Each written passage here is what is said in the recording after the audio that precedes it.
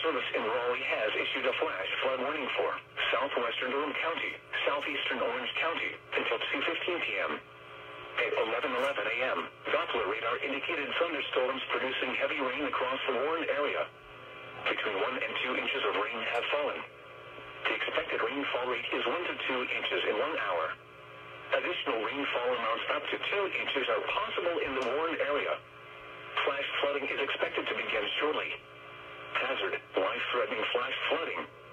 Thunderstorms producing flash flooding. Source, radar. Impact, life-threatening flash flooding of creeks and streams, urban areas, highways, streets, and underpasses.